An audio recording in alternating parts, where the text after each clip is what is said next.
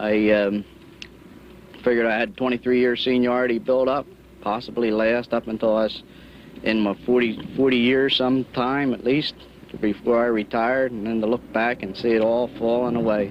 Everything that you had planned on just seems like a waste of time.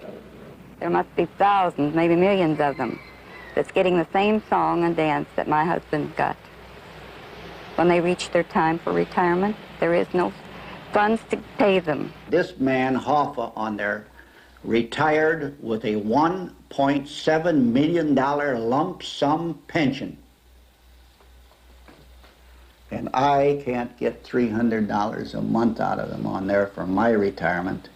Where does this, where does all this money go that's been paid into these pensions? The pension system is essentially a consumer fraud, a shell game, and a hoax. As a matter of fact, when you say it's a consumer fraud, you pay it an undue compliment because typically we think of consumer frauds in terms of short transactions, the purchase of an automobile, the purchase of a pair of pants. But with the pension system, you really have a long-term contract that may run 50 or 100 years that's designed to guarantee the security of our population. Essentially, you have an insurance contract that doesn't perform. You have an insurance contract that can't be relied on. You have an insurance contract that can't be trusted. And I think it's a terrible thing in this country where men who work 45 years have to eat yesterday's bread.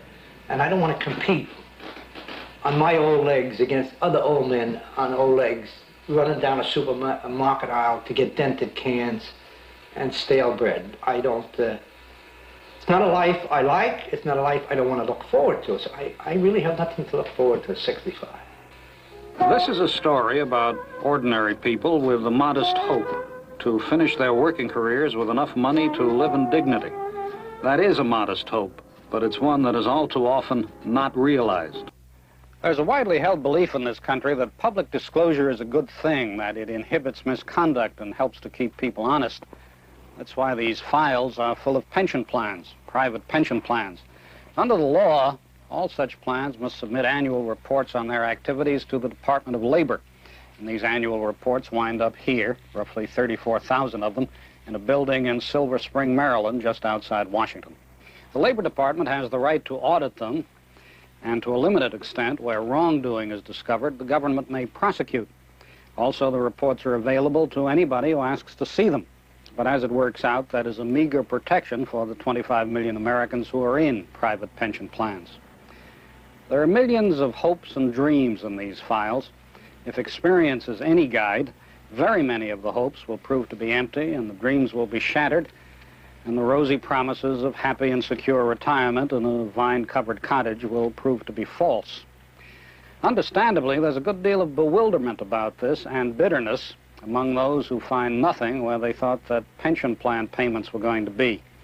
The Labor Department, therefore, receives, in addition to the annual reports of pension plans, complaints about them and appeals for help. A lot of these are passed along by members of Congress. For example, I understood that I was covered under a very good pension plan to which I did not contribute. It was 100% paid by the company.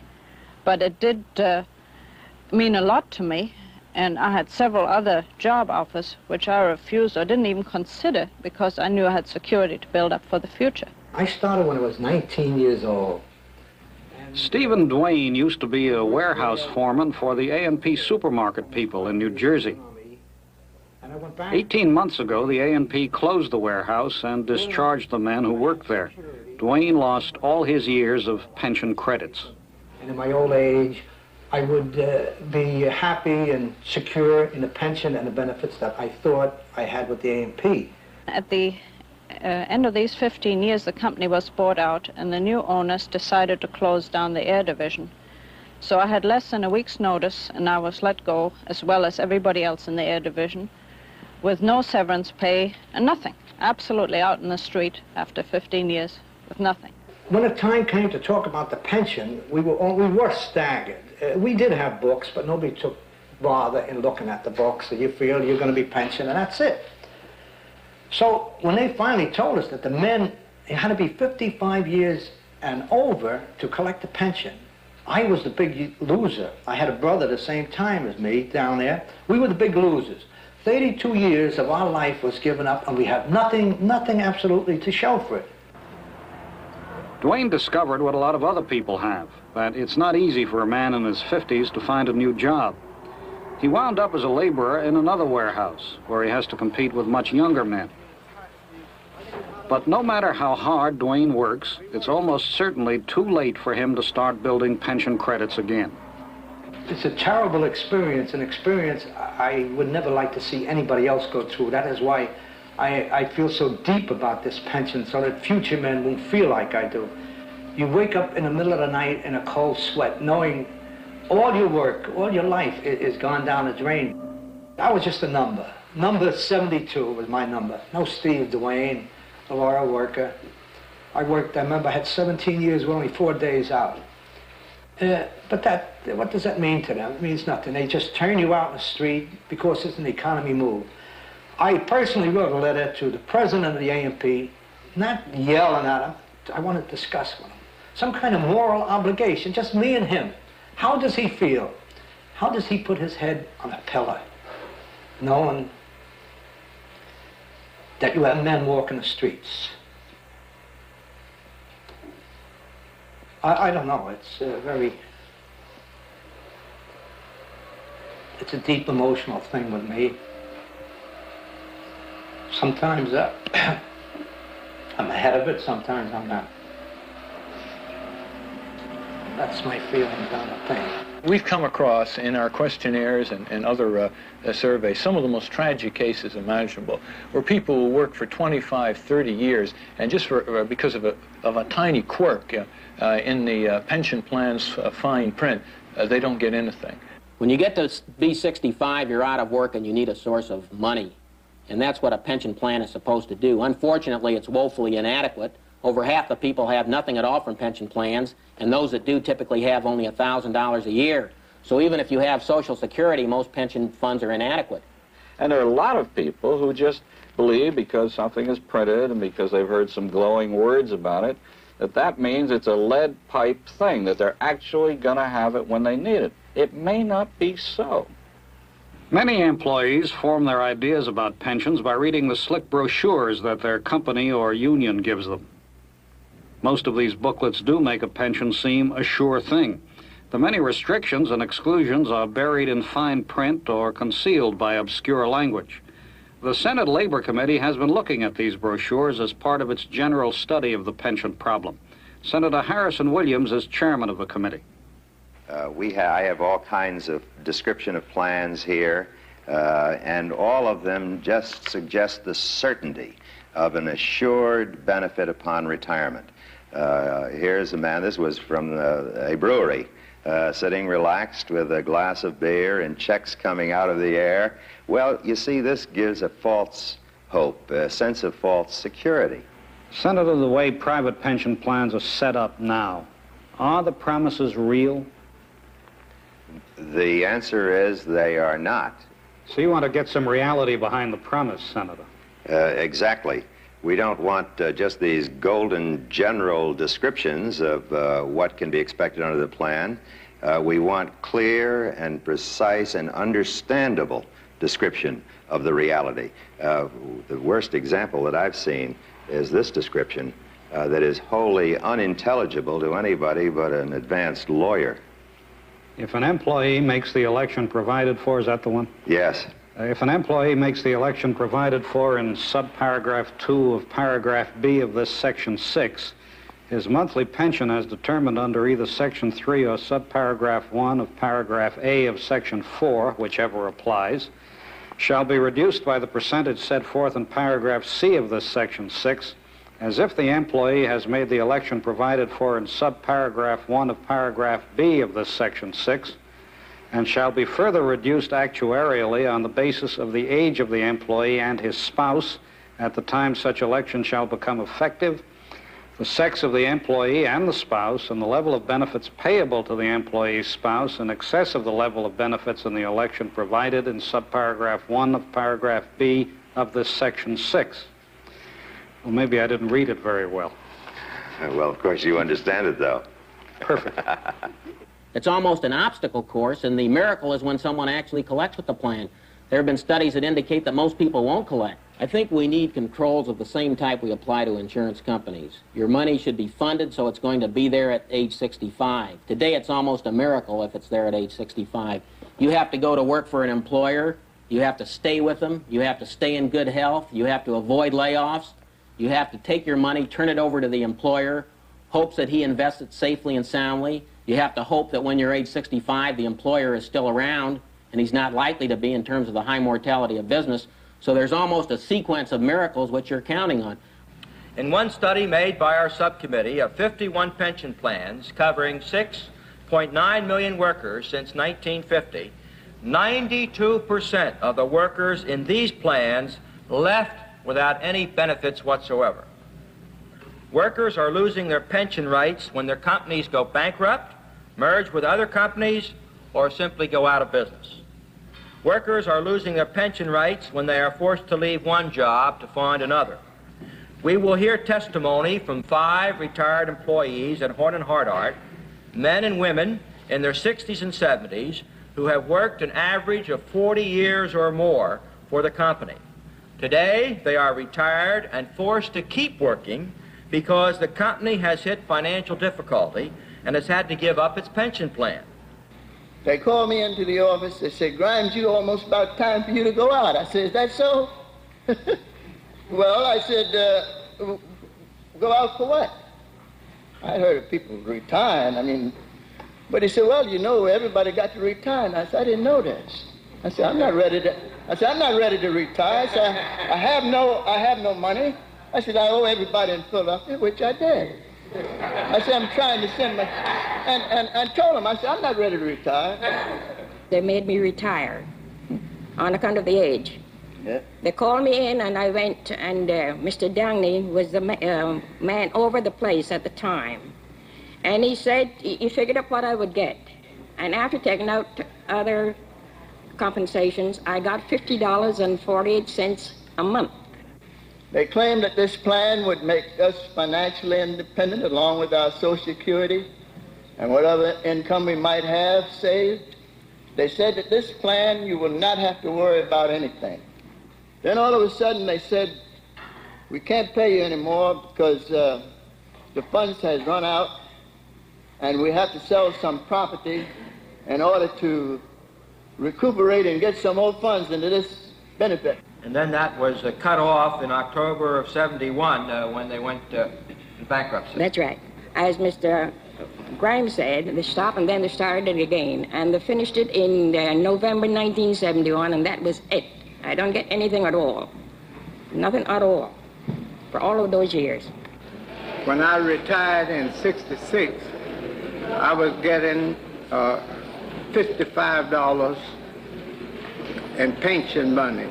I could make it with that with my Social Security.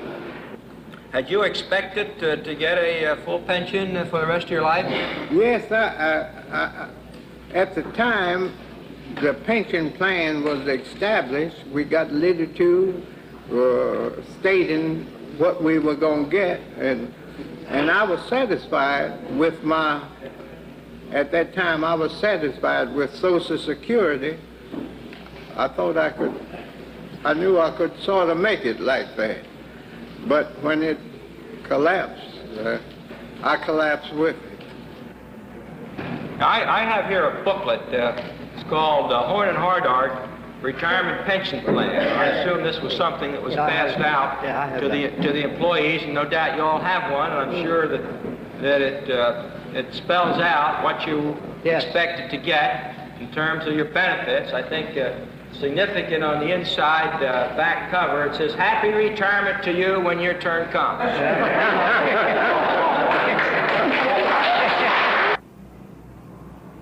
This was the Baldwin Lima Hamilton Heavy Equipment Plant near Philadelphia, where 1,300 men used to work.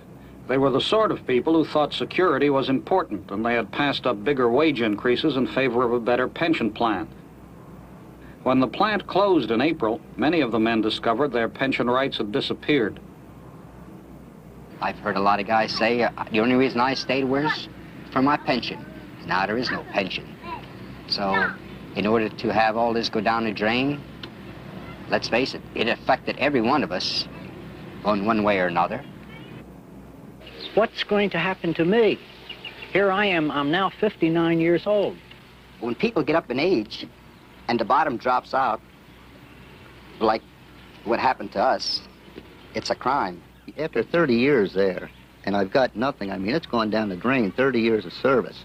Now, I can make up, I can get up into another place there, and I'll get 15 years, but uh, that's not going to amount to anything. So, and so there goes my future plans there. I mean, I figured, well, I like to put the boy through college, but what can I do now? I'm afraid to. Yeah, a younger person has does have some chance to, to do it, but uh, in my age, uh, you've made that round. There's no more. In other words, I've I'm uh, I missed the pension here by about four months. Everybody was just relying on a pension. And if they knew today all the stuff, they would have never stayed there as long.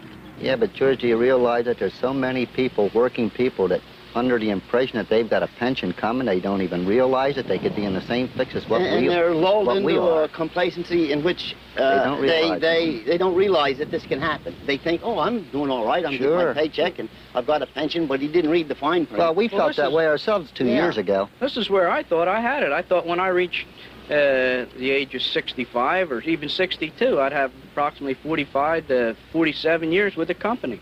And I could turn around and retire at $6 a, a month uh, for every year's uh, of service. I mean, that would... And I thought it possibly would- as, as the years went on, that, that figure would have increased. I lose faith in, in a government that allows things like this. Uh, not long ago, I was in New York and I saw that inscription on the Statue of Liberty, and it sounded wonderful, you know. When you give read- us your tired and so on. But what it actually said was, give us your cheap labor. Get these hunkies in here where we can put them to work for nothing. That's what it amounted to. An employee becomes much more expensive to a company once he has been vested, that is, guaranteed a pension. This man, Alan Sorensen, says he helped to prove that point in a study he did for a large department store chain. After the study was made, so Sorensen says, the company got rid of many long service employees before they could achieve vested pension rights. Sorensen himself was transferred out of company headquarters, winding up in Salt Lake City as a store manager. That is, Sorensen was a store manager until he was fired last year after 22 years of service. He now works as a checkout clerk in this Salt Lake City store. Sorensen told us he had been only a few years away from his vested pension rights. I definitely feel that I was terminated because I was approaching an age where I would have vesting, and uh, they had terminated so many long service employees just prior to terminating me that uh, it all seemed to fall into a very definite pattern. And the reasons you were given for being let go, how did they seem to you? They seemed very shallow because my past record was such that uh, it was above reproach. Uh, I had never had a serious shrinkage in the total time that I had been a store manager. Within the last two or three years before I was terminated, they terminated a great many store managers with long service with the company. People who would be approaching the a- the approaching the age of vesting and retirement. See, by terminating these people before they reached age 65, this cuts their uh, pension benefits back drastically. Up in Chicago, I worked for 24 years for the Kelling Nut Company. And uh, Earl Schrader was a corporate executive in a company that had been taken over by a large conglomerate. Several other executives had been fired, and Schrader was worried about what promised to be a substantial pension. He was only six months away from his vested pension rights. a retirement plan at age 60 uh, by having put 20 years service with the company. I had put in my 20, 20 years, in fact 24 years with the company, but I didn't have the age uh, requirement of 60. I was called from my office to a lunch with one of the executives of uh, Kelling Nut Company, Corn Products Company, our vice president for finance. and informed that uh, henceforth uh, I would no longer be with the company. And I said, Walter, what do you mean? He says, well, Earl, I hired you 24 years ago. Today I'm firing you. Why? Well, we've decided you're too good for the company, and uh, we have no other spot for you. I was at the time assistant secretary of the company. The secretary of the company, he was lopped off uh, at 30 years service. I had a warehouse manager in Albany, Georgia, Howell 3, who was lopped off two months before uh, he would be vested in the plan. He had his time, he had his age. This poor individual became so ill and upset over it that he shot himself, took his own life. Driving a truck in Chicago wears a man down fast, so the truck drivers have always been concerned about pensions. And in most respects, the pension programs run by the Chicago Teamsters Union locals are among the best. Benefits are generous, and a Teamster can retire as early as age 57. Many feel that after 20 or 30 years behind the wheel, retirement can't come soon enough. When I was young, I was like a bull. I thought I was big and tough. Then I started in the taxi cabs, driving a cab. You sit, your kidneys, your back, your head, everything just goes. When you get older, same thing, only worse. Every truck driver, I think, thinks forward to the day that they're going to retire. And if you got the, the seniority, you think you're well established. You're not thinking about somebody cutting you, shooting you down or something, about cutting your pension off. The trouble is, every Teamster local in the Chicago area runs its own pension plan. And it's common practice for a man to be forced to transfer from one local to another every time he changes jobs from driving to the loading dock, for example, or from loading to checking way bills, or from an outside to an inside job. Sometimes different groups of Teamster members working for the same company, or even in the same garage, will be in different Teamster locals. A Teamster must have 20 years of membership in one local to draw a pension. His pension rights are not portable. He cannot take them with him from one local to another. A lot of drivers don't know that until it's time for them to retire. And when they do find out, they can't understand why it should be so.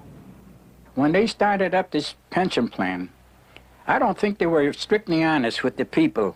I mean, with the people, I mean the truck drivers.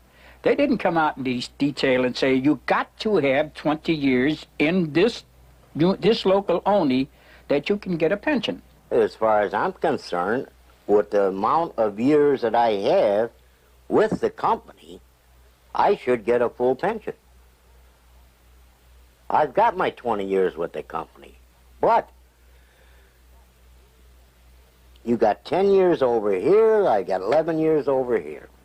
It's the same thing on there you would put money in one bank and then go on the west side and put a uh, uh, part of your money into another bank on there. And when it come time to draw it out on there, they tell you, oh, we're sorry on there. You put your money in two banks. We refuse to give it to you.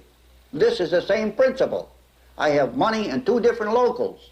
Almost 21 years with one outfit, and I can't see why one local can't get together with the other local, which I'm in, and there's nothing to it. This one has to give me half, the other one gives me half, and they make a whole out of it. All right, so what's, what's hard about that? You go down to the unions, you beg, you talk to the people, they give you D, D fear. Yeah, we'll take care of it. Yeah, we'll take care of it. But they don't. The union was to me a brother, and that they wouldn't sell me down the river.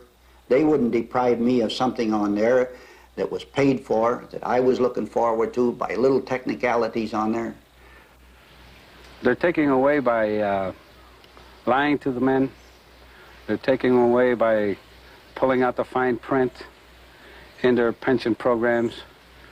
They're taking away by uh, keeping the men ignorant of these pension programs, of these pension rules. You cannot change unions. So what do you do then? If you can't change unions, if you have to get another job and you have to go to another union, what are you going to do then? Do you start all over again? Are you going to go ahead and build up time, time, time? You can't do it. What are your plans for the future? I have no plans. What can I do? I just gonna I'm gonna have to live out my time and do the best I possibly can with what little what money you that we get from Social Security.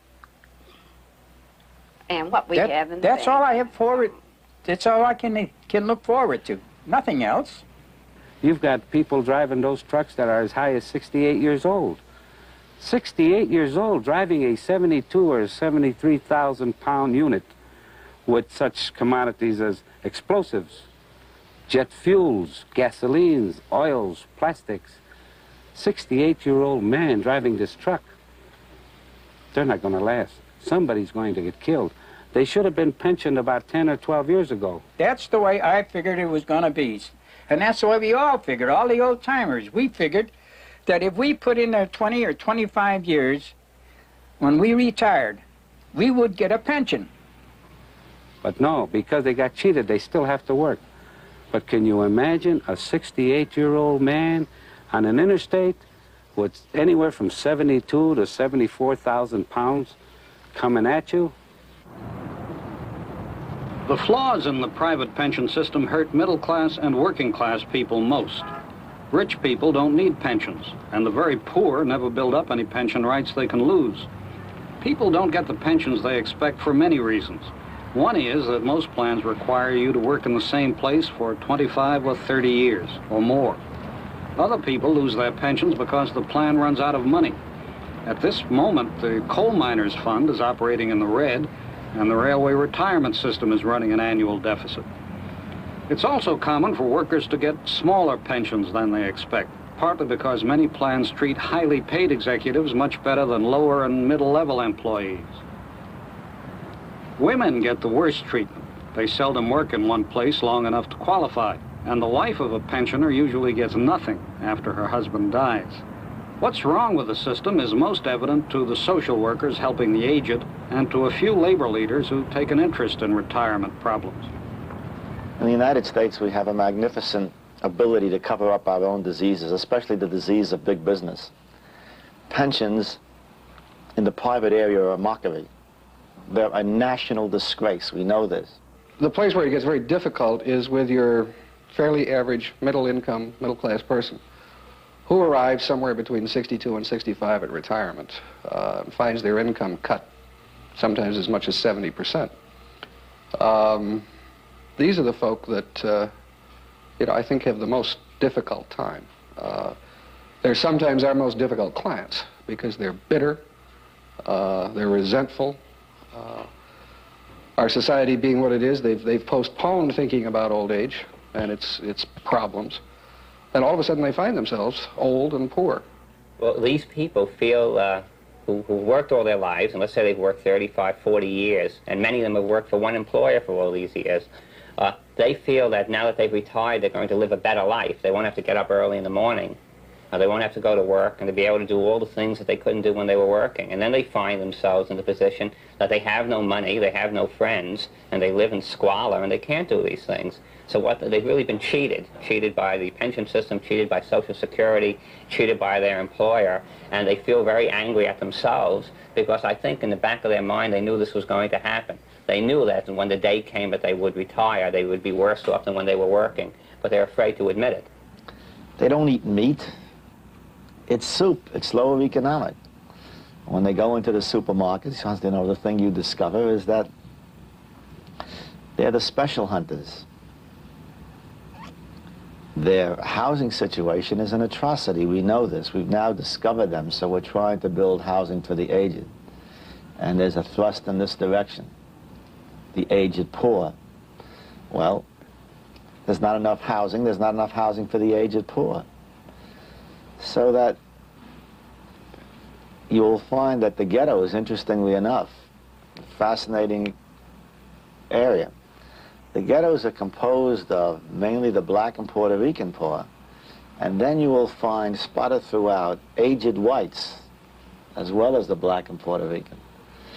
This is integration of the poor, integration based on lower economic status. They're kind of uh, waiting around. Uh, so what we've done in, in our country is create uh, God's waiting rooms all over the country, in Miami, New York, and Boston, and Los Angeles, uh, and Philadelphia, where old people kind of wait around for the day to come where they're going to die. We're living too long. And in some areas, if we could just disappear, it would be very, uh, very nicely to the community at large.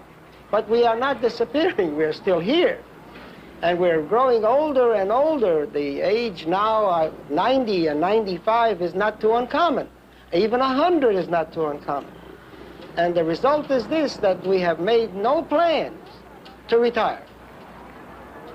You can't make it on Social Security. Maybe after that 20% increase, we can. As far as I'm concerned, if we had just, uh, say, a hundred and a half more a month, we could make it pretty good. But now when a bill comes up, you got to figure how you're going to meet it. See, if the car breaks down for a $100, you got to start skimping or go to the bank. You got two or three hundred left in there and draw one of them out. It's all. And that's like pulling teeth. We'll get by. We'll just have to get by. We'll have to eat less. If we had any indebtedness at all, we'd never make it.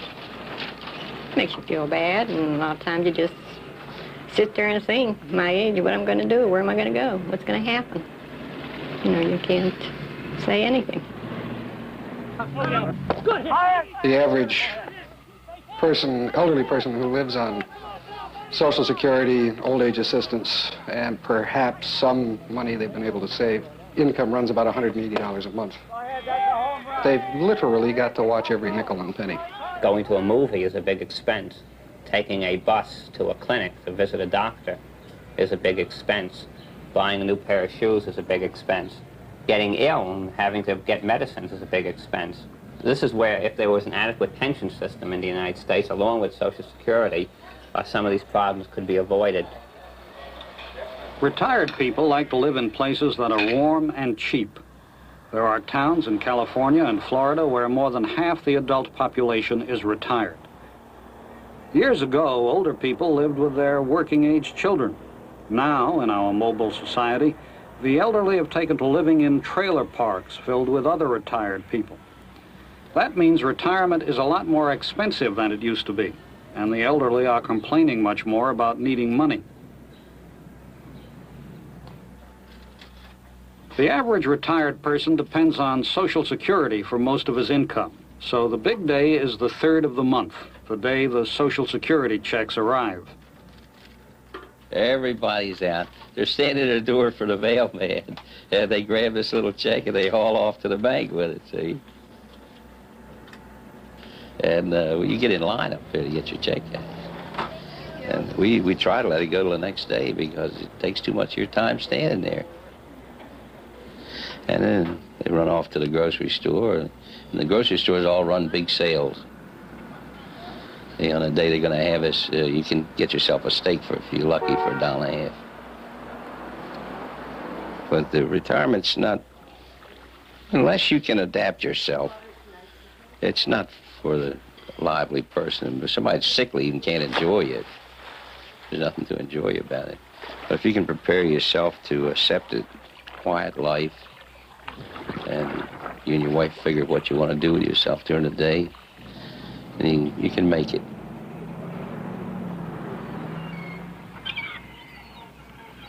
We're fishing and take an umbrella and a couple of chairs and go down the beach and sit there for early part of the day before it gets too hot. And then we come back and uh, turn the air conditioner on, spend the afternoon in the house. And visit, we have a couple of friends around here we visit with, but it's nothing exciting. You don't have the money to get exciting. See, wife likes to go, and I would love to go too, but you can't afford to drop 10 or $20. You go down to these restaurants, none of them have a meal less than $3. But uh, they got some beautiful malls and one thing another you can loaf around in, air conditioned. We went in one yesterday, Maz, I think it was. Down there, the wife pulled about four bolts of material out. And hello, how do you like this? And I go through the routine. It's a little, a little loud or a little conservative. And, and she throws them back in a pile and walks on. and the girls follow her around, putting them in. But that keeps them busy. They got something to do. I imagine all these old people do that. I don't know.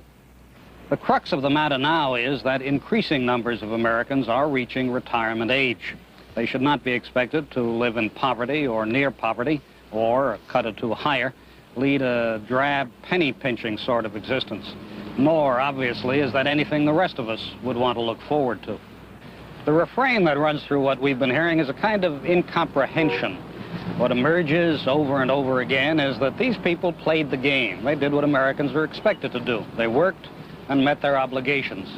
But at the end of their working lives, they found that they were in trouble. Put simply, they did not have enough money. The pension plans that they thought were going to take care of them didn't. Now, it may be that some of them did not save as much money as they might have. The urge to consume in American life is very strong. Also, inflation played its part, and maybe they were careless about what the pension plans they were in actually could do. In any case, at the end of their working lives, they feel cheated and cast aside. This Social Security measure gives at least some protection to 30 millions of our citizens Most people didn't have any sort of steady retirement income until the first Social Security law was passed. Social Security was to take care of working people when they got old. At least that was the impression given by this government publicity film. But no one who ever had to live on Social Security alone has ever considered the monthly benefit to be enough. It was enough, perhaps, where people also saved money for their old age or got help from their children. The private pension system really got started when wage controls were put into effect during World War II. Fringe benefits were exempt from controls, and since labor and management couldn't talk about much else, they began to negotiate pension plans. Companies also started using pension plans as a way to keep skilled employees. The idea was that a man would not be tempted to look for another job if he had a paid retirement to look forward to. Today, labor unions consider pension benefits to be part of the wage package. Higher income workers now want more assurance that they'll actually get their pensions. Lower income workers think they have a right to better pensions than they get now. For that matter, Major League Baseball players struck last spring for improved pensions. In New York not long ago, angry municipal workers paralyzed the city by opening drawbridges and blocking highways. They wanted their pensions improved to match the gains made by policemen and firemen and by some workers in private industry. If there is a pensions crisis, it is, at least in part, a crisis of rising expectations. Another crisis of sorts involves the vast amounts of pension fund investments. James Hoffa was convicted of criminally mishandling pension fund investments. So was the leader of a Chicago barbers union. Pension funds have outgrown the laws regulating them. No government agency has enough staff or authority to control them. The Justice Department's labor section believes it's common for pension money to be incompetently or dishonestly invested. Well, we've prosecuted cases involving embezzlement of pension funds, misuse of pension funds uh, for the personal benefit of the uh, labor union uh, officials who are charged with administering these funds. Uh, we've also prosecuted cases involving the receipt of kickbacks uh, by pension fund employees and trustees uh, for the granting of loans and for the use of this pension fund money. It could be something as simple as using the money to buy a new vacation home for one of them, or it could be the more complex, more subtle situations where the money in the trust fund is, for example, loaned to the employer to build him a new factory, uh, or loaned to the union to finance a new recruiting campaign. We have no real idea of how much fraud there may be in the pension plan area, but you're talking about an institution, the pension plan area generally, that deals in hundreds of billions of dollars. And when you have that much money involved, the federal government ought to take more, a more active role, and it does. We regulate insurance completely. We regulate the, the agents, the contract, the reserves, the policies, the sales techniques, the investments. We regulate insurance companies from birth to death. And yet we have a gigantic pension system, almost the size of the insurance industry, a $150 billion business that's essentially unregulated. Can you imagine what would happen if we would let insurance companies do whatever they wanted to? We can't even protect the public with full regulation of insurance. But essentially, we have a pension system which is precisely an insurance plan and which is almost unregulated. This is where most of the pension money now goes, to Wall Street, to be invested. It's estimated that private pension fund assets now amount to something like $153 billion. The way they're growing, they very likely will amount to $250 billion by the end of this decade. Pension funds are now the largest institutional investors in the country. They've passed the mutual funds, and there is no end in sight. Typically, the management of pension fund money is handed over to banks, mostly very big banks. Thanks to the piling up of pension fund money, a few banks may administer significant and even controlling amounts of the common stock of very big corporations. An example, more than 10% of such companies as IBM, Ford, IT&T, J.C. Penney, Westinghouse, and Boise Cascade is held by three banks. 15% of Trans World Airlines is held by two banks, Morgan Guaranty Trust and Chase Manhattan. We remain confident beyond 1973 on a relative. There is so much pension fund money to invest that just finding productive uses for it can be a problem. This is something few outsiders see, an investment meeting at Bankers Trust Company in New York. One of our major concerns is to protect our accounts against risk.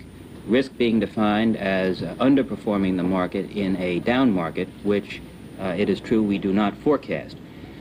Uh, my question is, uh, how do you think the chemical stocks would fare in the event we do have a weak market over the next six months? Uh, Jay, I was just talking uh, this point over. Critics of the big banks claim that they stick too much to safe investments in big corporations. The bankers insist that their industry is competitive and that all banks seek the highest return with the least risk. Bankers and critics agree that the trust fund investing industry has grown tremendously. The institutions managing trust funds have become so big that they often prefer to trade large blocks of stocks among themselves by computer rather than using the stock exchange. Pension fund money has become so important to the economy that nobody knows what would happen if the system were to be drastically changed, incorporated in Social Security, for example. Ralph Nader opposes that. Nader wants to take pension funds away from the banks and have the government set up a new set of institutions responsible only to the pensioners. Other critics would concentrate on insuring pension benefits and making it possible to take pension rights from one job to another. But almost everybody agrees that some changes are needed. I think time is running out on the private uh, pension system, and if its abuses continue to pile up, and if its enormous uh, uh, popular disappointments uh, begin to be more and more revealed, it might collapse of its own weight, uh, and Social Security will have to take up the slack. Over a good number of years, the track record is excellent. It's unfortunate that every now and then some of the tragic cases make the newspapers and the headlines. But it's a question of perspective and balance. When you consider that there are 30 million people covered by the plans, that there are 5 million people uh, receiving about $7 billion in benefits, I think that's a pretty good record. That's not to say that there aren't a few remaining loopholes that need closing, uh, but uh, we ought to make sure that we don't throw out the baby with the washwater.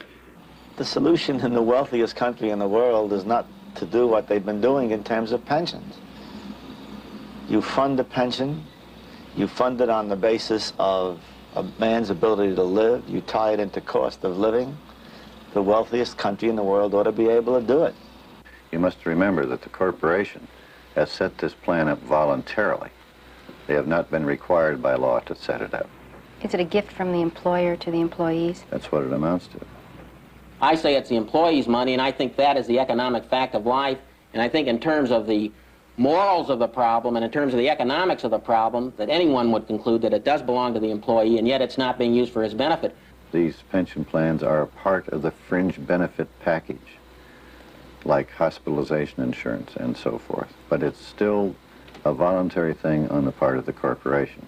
All I can say is, my God, how can you hold to that view? Do you mean people are supposed to starve, that people are supposed to live on a subsistence money because they are not unique? And that, by the way, is the same attitude that gives top management stock options, gives them retirement after a small serving period, whereas the middle worker, the lower economic worker, takes a terrible beating. We're proposing to do a little bit what was done with, with a bank failure problem. We didn't go in and, and take over the banks, but we did by means of insurance and, and Federal Deposit Insurance Corporation come in and guarantee that no depositor uh, would lose his, his savings beyond a certain point. And I think that's what we're saying here, that once a worker has put in eight years uh, time, uh, once he's uh, reached a certain age, uh, once his company's reached a certain point, then he doesn't lose it regardless of what happens to his company or the country. What are they waiting for? What the hell are they waiting for? Do they have to give us a certain, a certain quota, a certain number of people that have to be victims? Do they have to give us a certain amount of money? Uh, how many billions must it, must it take before they do something about this? How many people have to starve? How many people have to lay on the sidelines and just hope and pray? How, many, how much misery do they want before they actually act upon it? This has been a depressing program to work on, but we don't want to give the impression that there are no good private pension plans. There are many good ones, and there are many people for whom the promise has become reality. That should be said. There are certain technical questions that we've dealt with only glancingly. Portability, which means being able to take your pension rights with you when you go from one job to another. Vesting, the point at which your rights in a pension plan become established and irrevocable. Then there's funding, the way the plan is financed so that it can meet its obligations. And insurance, making sure that if plans go under, their obligations can still be met. Finally, there's what is called the fiduciary relationship, meaning who can be a pension plan trustee, and requiring that those who run pension funds adhere to a code of conduct so that they cannot enrich themselves or make improper loans or engage in funny business with the company management or the union leadership. These are matters for Congress to consider, and indeed the Senate Labor Committee is considering them now. There are also matters for those who are in pension plans. If you're in one, you might find it useful to take a close look at it. Our own conclusion about all of this is that it is almost inconceivable that this enormous thing has been allowed to grow up with so little understanding of it and with so little protection and such uneven results for those involved. The situation, as we've seen it, is deplorable. Edwin Newman, NBC News.